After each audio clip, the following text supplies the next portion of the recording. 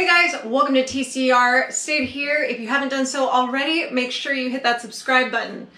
Today I'm going to take you through making a really easy fall soup, if you've done the prep work ahead of time, with some yummy, yummy butternut squash.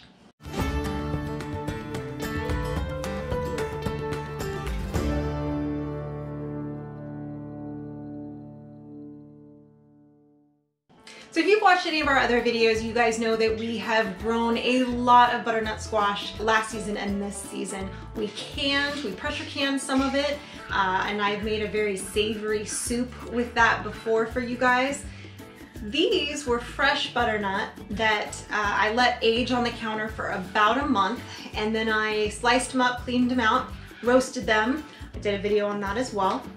These butternut squash I roasted with a very little bit of brown sugar, some cinnamon, some nutmeg, pumpkin pie spice, ground clove, and just a little bit of ground ginger.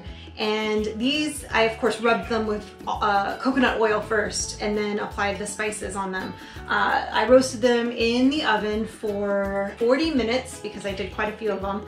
Uh, 40 minutes at 400 degrees. And I did these about two days ago now. So I've got these here and I'm gonna go ahead and take off all the skins and start our soup. The only other things that I need to make this soup, I've got some uh, some homemade uh, pressure canned duck stock that I'm gonna use. And I've got some coconut milk that I'm gonna be adding to it as well. And you can substitute that out for, you know, heavy cream if you like or whatever, but I prefer to use coconut milk. So since these are already roasted, all I have to do, and they've roasted and cooled obviously, since I did these a couple days ago, is it's super easy now to peel the skin off. Super, super easy. So now you can see this is already like falling apart in my hands. I'm just literally gonna throw it over here into my pot.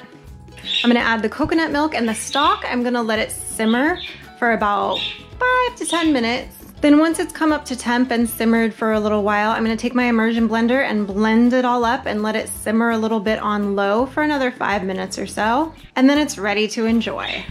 So that's it guys, that's how I take that roasted squash and make a nice uh, sweeter soup. Yummy, yummy.